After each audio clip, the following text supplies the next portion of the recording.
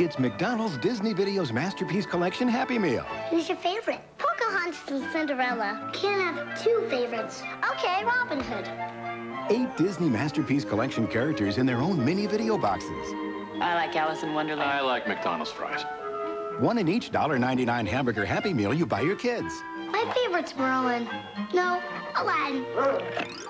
Guess we know Aggie's favorite. Cat, cat.